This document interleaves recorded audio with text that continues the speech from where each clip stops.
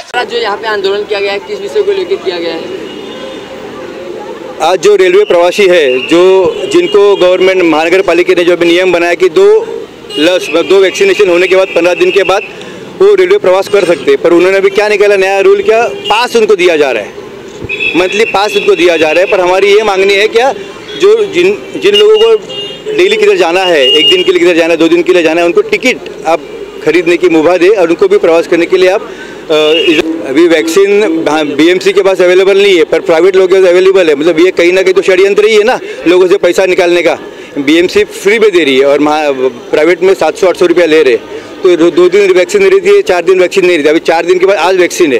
तो ये कहीं तो षड्यंत्र है शासन का। ये गलत है। इससे लोगों को परेशानियाँ हो रही है। अभी किसको हॉस्पिटलाइजेशन जाना रहेगा, या किधर फ़ंक्शन में जाना रहेगा? अभी फैमिली रहेगी कल एक फैमिली थी, पाँच जन थे, उनको कहीं फ़ंक्शन में जाना था। तो उनका बच्चा टिकट निकालेगा क्या? मतलब अठारह साल का बच्चा टिकट निकालेगा। गया यहाँ पे सेंट्रल गवर्नमेंट और स्टेट गवर्नमेंट मैं दोनों का यहाँ पे निषेध करना चाहता हूँ।